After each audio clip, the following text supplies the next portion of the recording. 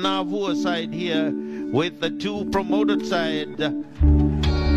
As we have a look at that goal by Jasnit Vikash again. And a poor, poor defensive wall by Navua. So that's the way it has been as we cross now down to shortly to uh, Irfan with a victorious uh, Nasinu coach, a relieved Nasinu coach, I would say. But that's the way it is here. The final score with uh, Nasinu 1, Navua nil. Let's cross now to uh, the baseline for the Nasinu coach.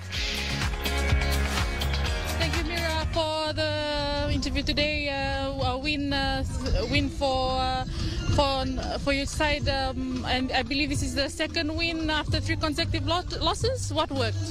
Uh, so it was an important three points for us uh, going into the season.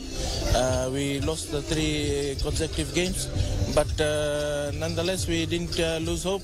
We we improved as the game uh, as the game progressed. So uh, these three points was crucial for us to stay, you know, in the DPL for next season also. So we have to keep in mind also on that. So this win and uh, uh, next week we also uh, looking for a win just to stay up uh, this season. Thank you, Mira, and congratulations.